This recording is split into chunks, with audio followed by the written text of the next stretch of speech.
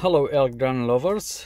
Uh, I'm just trying to make a video. I'm pretty sure that somebody else made it before but I will uh, refresh everybody's again. So I'm just gonna make a video how to remove uh, the actual head unit uh, and then put a uh, double din. Uh, it's gonna be uh, straightforward but um, we'll see how it goes on. Thank you.